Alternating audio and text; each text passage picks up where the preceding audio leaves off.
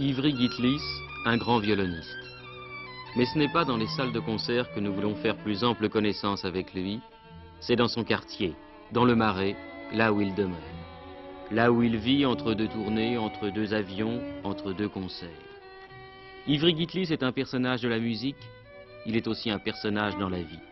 Un homme agité, inquiet, qui passe du rire aux larmes, de la farce à la tragédie, aussi entier dans une situation que dans une autre.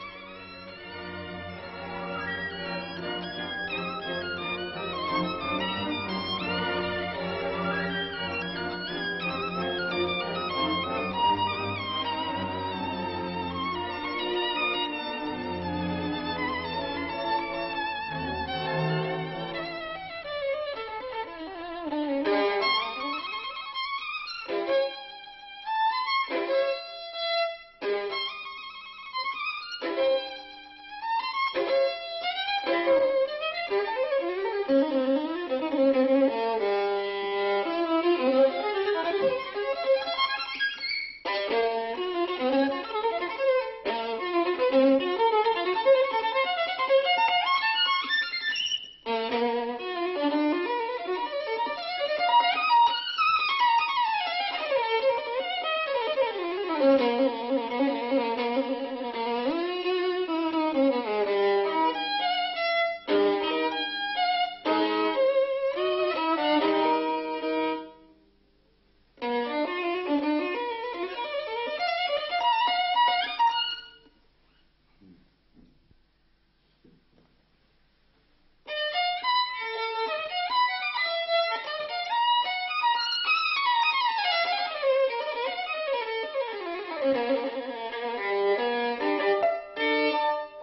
C'est dans votre cuisine que vous travaillez le plus souvent.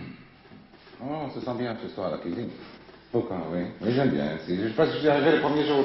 Je suis pas depuis très longtemps ici.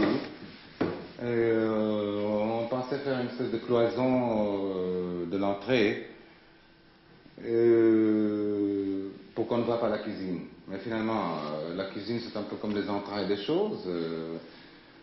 je, me suis assis là et je me suis trouvé bien à travailler ici. Vous habitez dans un hôtel classé. Oui, c'est un, grâce à des amis euh, très gentils qui m'ont trouvé ça parce que j'étais en voyage. euh, j'ai dû déménager entre temps et euh, euh, je n'avais pas le temps de trouver. Ils m'ont trouvé ça. Ils je suis arrivé d'un voyage, tout pas été aménagé. Il n'y avait rien ici. Il n'y avait ni table, ni rien, enfin rien du tout. Êtes-vous sensible à ce cadre extérieur? Ah, beaucoup, oui. Énormément, oui. D'ailleurs, j'a- j'adore ce quartier ici. Vous savez, j'habitais pendant euh, deux ans à Neuilly. Je n'ai rien contre les gens de Neuilly. Dans ce sens-là, c'est un peu un cimetière. Euh, oh, qu'ils regardent, euh, ils me diront ce qu'ils en pensent, mais c'est un peu un cimetière. Moi, moi, j'aime bien ou habiter dans la ville ou habiter complètement dehors de la ville. Mais je n'aime pas beaucoup, c'est entre les deux choses. Alors ici, on est vraiment dans la ville, et puis le peuple est merveilleux ici. Euh, C'est ça qui est formidable, parce que euh, je sors, il y a des gens, il y a des têtes, il y a des, expressions, il y a des paroles, des conversations. Les gens vous parlent, les gens vous parlent. Vous savez, je, joue du violon depuis l'âge de 6 ans et demi. Alors, euh, pour moi, pour commencer, c'était une chose de curiosité. J'étais curieux. J'ai vu d'autres enfants qui, qui jouaient du violon, enfin qui, euh, qui avaient des violons à la main. Je voulais avoir un violon. Et, et c'était une affaire d'amour pour moi. Vous savez, je veux dire, je voulais vraiment jouer du violon. Mais euh, comme il arrive souvent, vous savez, quand mes parents, mes oncles, mes amis euh, se sont rendus compte que euh, j'avais un peu de talent. Alors, euh, c'est devenu un instrument de tyrannie aussi. Vous étiez à l'époque en Israël. Oui. Oui, je suis né là-bas. Oui. Je suis né à 25 km de Nazareth, euh, sur le mont Carmel. Je suis un Méditerranéen. J'aime le soleil. Et vos parents sont d'origine russe. Oui.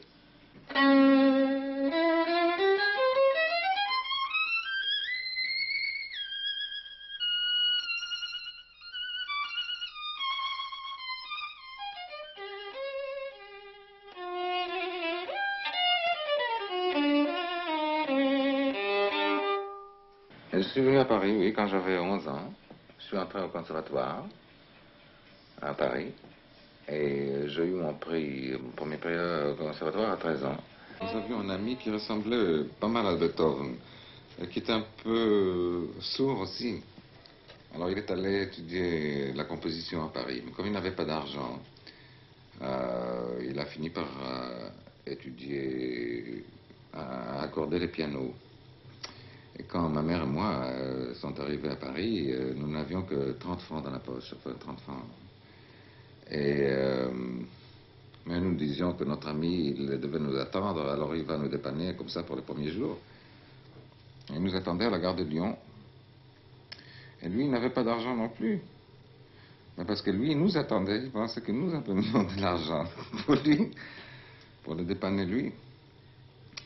Et comment Alors, voilà. installé à Paris Nous sommes allés à un hôtel, nous sommes restés aussi longtemps à l'hôtel que possible, que comme nous n'avions pas l'argent pour sortir de l'hôtel, il fallait bien qu'on reste là-bas jusqu'à ce qu'on ça.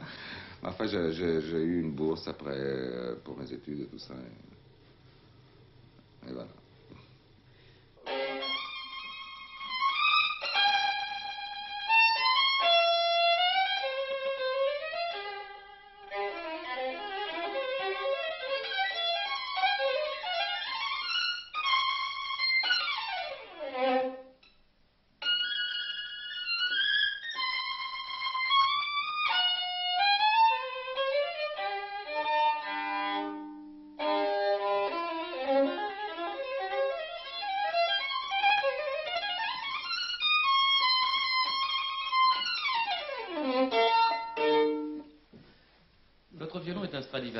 Vous l'avez depuis quand? Ça n'a pas sonné comme un Stradivarius maintenant. Vous savez, il ne faut jamais venir chez un violoniste quand il fait sa cuisine.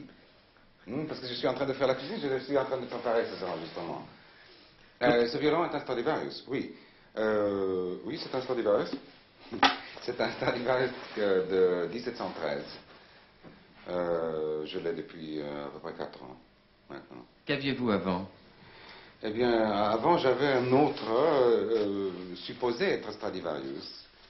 Euh, qu'on n'a jamais pu certifier. Ça a l'air comme s'il était un peu blessé, mais c'est pour justement qu'il ne se blesse pas trop, parce que vous savez, le violon est, très sensible au, changement de temps, et quand il pleut ou quand il fait très humide, il gonfle, enfin le bois gonfle, et alors ça monte les cordes, et alors ça devient très difficile à jouer. Alors euh, c'est un petit système euh, qui permet un peu de, de tenir, disons, le status quo. Alors on, le laisse comme ça, ça reste plus ou moins comme ça, enfin, naturel. Mais je ne joue pas comme ça, je ne joue pas dans les concerts avec ça. D'ailleurs, ça, ça, changerait la sonorité, oui. Elle, euh, écoutez, je m'excuse, on m'appelle au téléphone. Non, non, une seconde, mais qu'est-ce qu'il y a? Ah. Que je le rappelle tout de suite, il est là, maintenant? Ah, Il est à l'appareil, alors je descends, je viens tout de suite.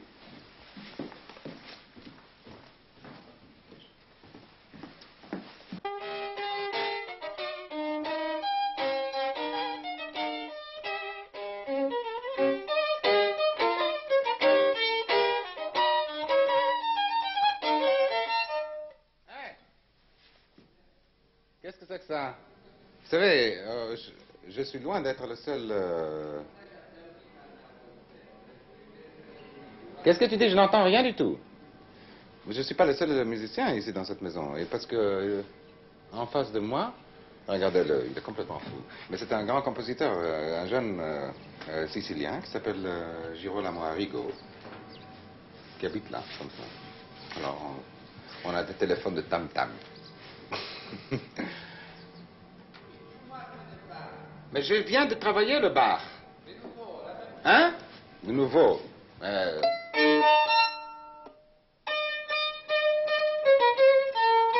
Je suis allé là-bas avec mon violon, avec, mon Stradivarius. D'ailleurs, euh, d'ailleurs, euh, il y a certaines personnes qui sont ici qui, qui, qui, ont dû trouver assez drôle de me voir me promener dans le dans le sable du désert du Sinaï avec, avec mon violon, euh, avec la boîte de mon violon dans ma main. Enfin, je voudrais dire une chose, c'est que, bien sûr, je suis israélien. Euh, ce qui se passe euh, dans mon pays, autour de mon pays, me concerne émotionnellement, naturellement. En fait, mais quand on parle d'engagement, et, je voudrais dire, ce n'est pas une question politique, euh, le moteur d'un engagement, si vous voulez, c'est euh, un sentiment, euh, une adhésion, une participation, une identification avec, avec des choses qui se passent. Il se passerait des choses en France, il se passerait des choses même en Allemagne, aux Indes ou en Amérique. ça me touche. Je pense que l'attitude d'une personne, qu'il soit violoniste ou pas, personne ne porte un autre chapeau que celui qui lui va. Vous savez très bien. Quand vous voyez dans la rue une femme avec un chapeau comme ça ou comme ça, vous voyez que c'est le chapeau qu'il fallait qu'elle porte. Vous savez très bien. C'est la même chose. Ces attitudes sont des attitudes qui sont, euh, les attitudes véridiques de la personne telle qu'elle est. Euh, on ne peut pas changer ça. Euh, pas, il y a des, violonistes qui sortent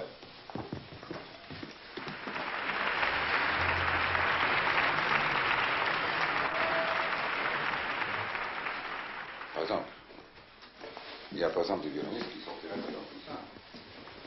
Pas,